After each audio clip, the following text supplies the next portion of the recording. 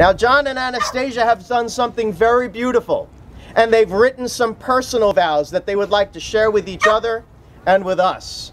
So now is the time to share those vows. All right, I'll go first. Oh, God.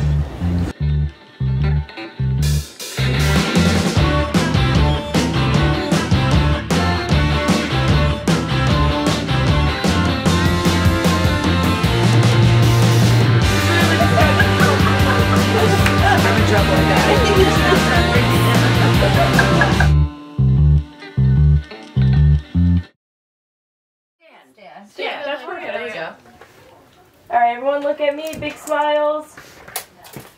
the puppy. I can't. You tell me you're scared.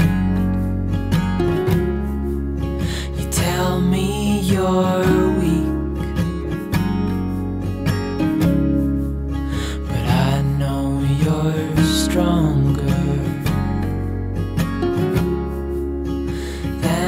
what you think.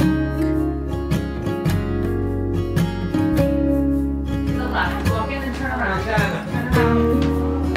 Oh! Where's Anna? That's not Anna. Anastasia. Anastasia. Oh, my beautiful daughter number four. But we'll make it through. And I'll back you up.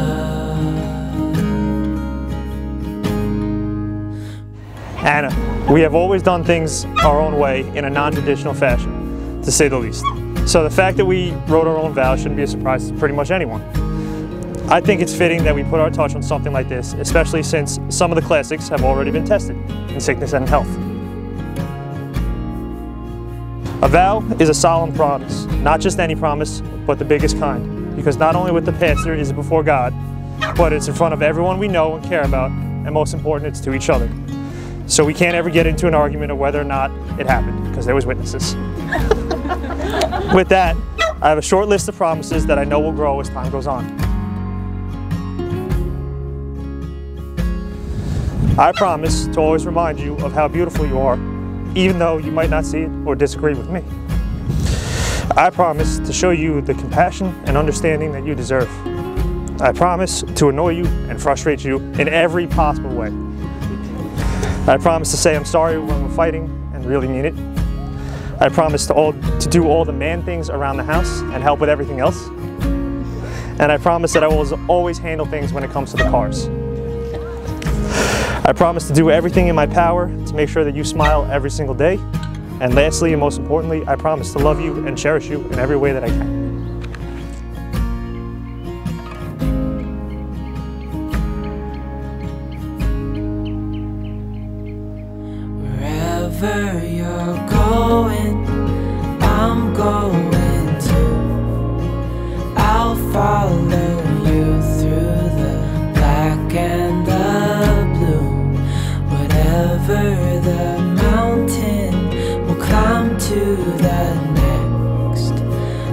Honey, I'm with you through life and to death. Honey, I'm with you through life and to death. Well, that sucks. I should have went first. Anyone who knows me knows I really couldn't care for a fancy dress and a big wedding. But standing here with you today, the process that got us here was amazing. We had so much fun with all the planning and the researching and the compromising. We may have our differences because we're both so hard-headed, but I can't express how excited I am to be your wife. I promise to always be by your side, no matter what. I promise to listen and give you the best advice I can. I promise to always say I love you, and I promise and I promise to always be a pain in your ass. we have been through so much together, more than most people ever will.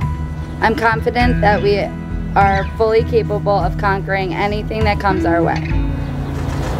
We are each other's support system. Where one of us slacks, the other person picks up.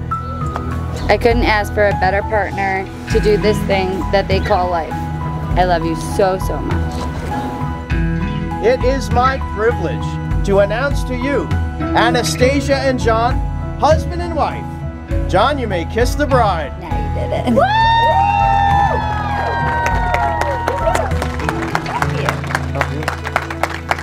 Take it, take it, okay, back. Should we bow?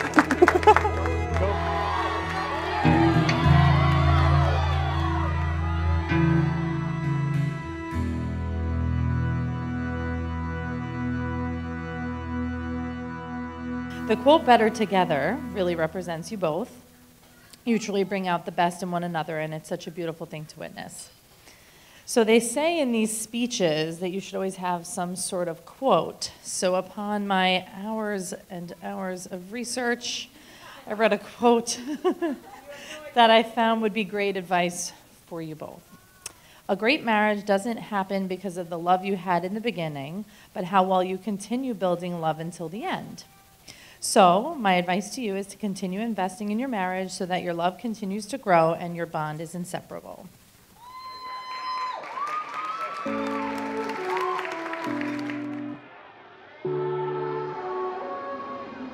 I'm feeling happy, and moments ago I was only empty. What did you slip me? My heart is racing and I'm getting dizzy.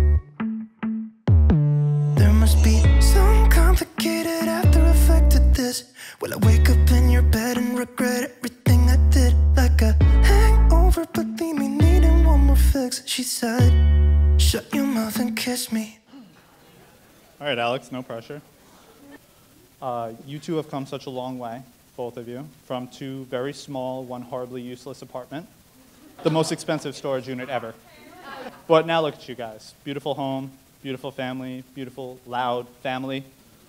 Um, so I don't want to carry on. Uh, I just want to say, Anna, John, congratulations and enjoy the rest of your beautiful, crazy forever. Thank you. I love you both.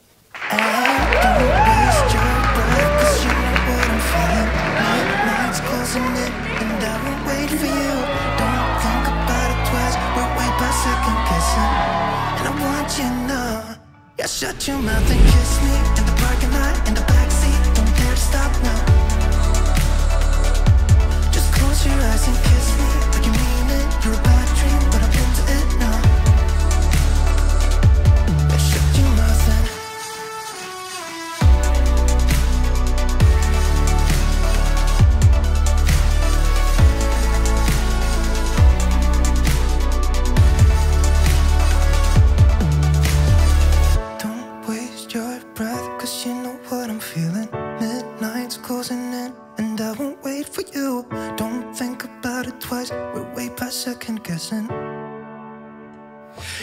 just close my eyes and kiss you